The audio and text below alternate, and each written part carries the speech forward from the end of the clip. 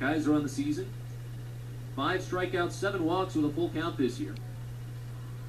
Now the rain's really picked up. Payoff pitch. Fouled off again to the right side. Fans that were braving without the umbrellas in the lower bowl, well, they've decided to hit the concourse, and now the umpires have too. It has started to open up here at UPMC Park, and we are going to head into a rain delay. Erie will have to complete this game in a little bit as they lead three to two, but there's nobody out here in the top of the fifth inning. We're going to send it back to the studio, Fox Sports 1330 The Fan, and well, John Kleiner, I guess it's your show right now.